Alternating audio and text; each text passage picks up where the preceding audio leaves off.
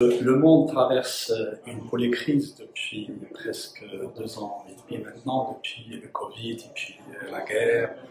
là, les sécheresses répétées. Et cette polycrise frappe de plein fouet l'agriculture méditerranéenne euh, et qui, euh, a montré dans certains cas euh, sa résilience, mais dans d'autres cas des chocs qui ont perturbé, déséquilibré le fonctionnement des, chaînes de valeur et surtout le fonctionnement des chaînes d'approvisionnement à travers toute cette région de Méditerranée. Aujourd'hui, on est confronté à une nouvelle flambée des prix, comme ça a été le cas en 2008 et euh, c'est l'occasion euh, en même temps de remettre euh, l'importance de l'agriculture sur la table des, débats et sur le plan politique, sur le dialogue à travers donc la région méditerranéenne qui partage d'abord tous les, les, sujets, tous les problèmes et les contraintes également. C'est une occasion de faire une relecture des politiques agricoles euh, dans les pays, mais également euh, toute la question de coopération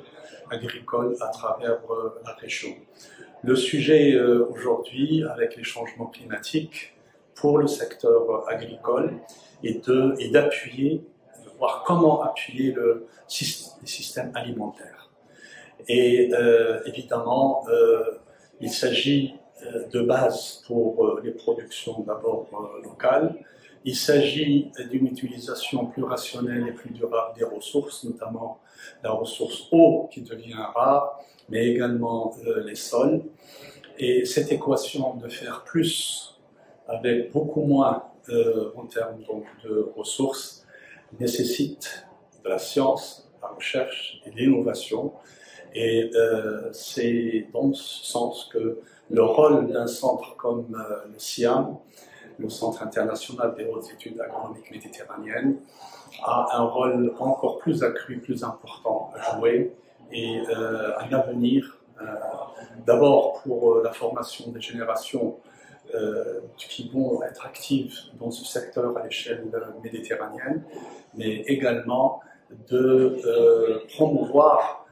des recherches, des recherches sur les systèmes de culture, revenir aux fondamentaux, euh, en termes de, euh, de, culture, en termes de euh, résilience, en termes d'adaptation,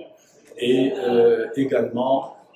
réfléchir sur les systèmes de, alimentaires qui doivent être durables. On en a suffisamment parlé, mais aujourd'hui, cette situation de polycrise nous a montré qu'ils sont vulnérables et il faut repenser donc les, la, question donc des systèmes alimentaires sur la base euh, d'une approche de souveraineté euh, locale, mais une ouverture euh, à travers donc la coopération et la solidarité. Et donc le système, encore une fois, sur le plan des études, sur le plan de la vision, a un rôle essentiel à jouer dans le futur. Merci.